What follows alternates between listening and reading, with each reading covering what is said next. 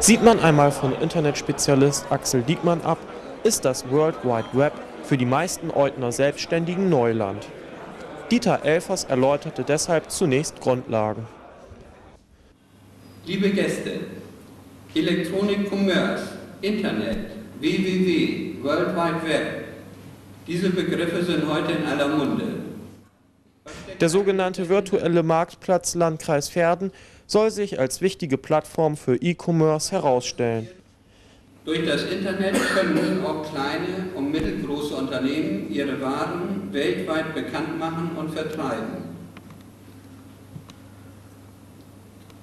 Gleichwohl sollte sich der Fokus nach wie vor auf potenzielle Kunden unserer Wirtschaftsregion richten. Unser virtueller Marktplatz sorgt dafür, dass die regionalen Anbieter im weltweiten Netz gefunden werden. Insofern profiliert sich ein regionaler virtueller Marktplatz insbesondere durch die Nähe zum Kunden. Nach der Präsentation konnten sich die Selbstständigen an zwei aufgestellten Rechnern selber von dem bisherigen Angebot, das schon seit einigen Wochen online ist, überzeugen.